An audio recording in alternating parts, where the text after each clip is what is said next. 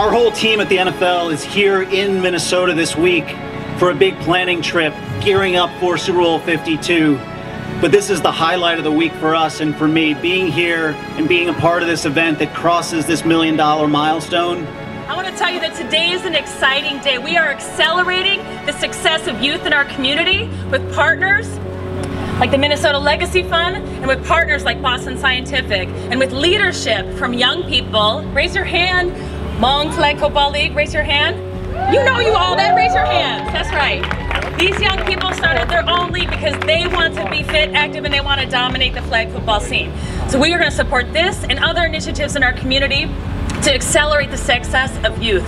So Brooklyn Park, we think we do something better than anybody. Our motto is be first or be the best. And if we can do both, we are very happy. And so this is going to allow us to keep doing what we've done, which is bring opportunities to youth.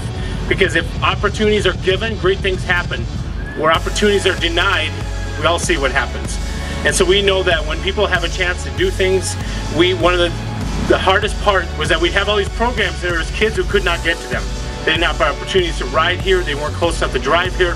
And so if we can bring this park to them, we can get them engaged, get them on a, a path that's gonna be success so I just want to thank everyone for all their efforts and just commit to the organizing committee, to the Vikings and the NFL, that after you leave and the signs go down, all the banners come down, everybody leaves, we're still going to be here.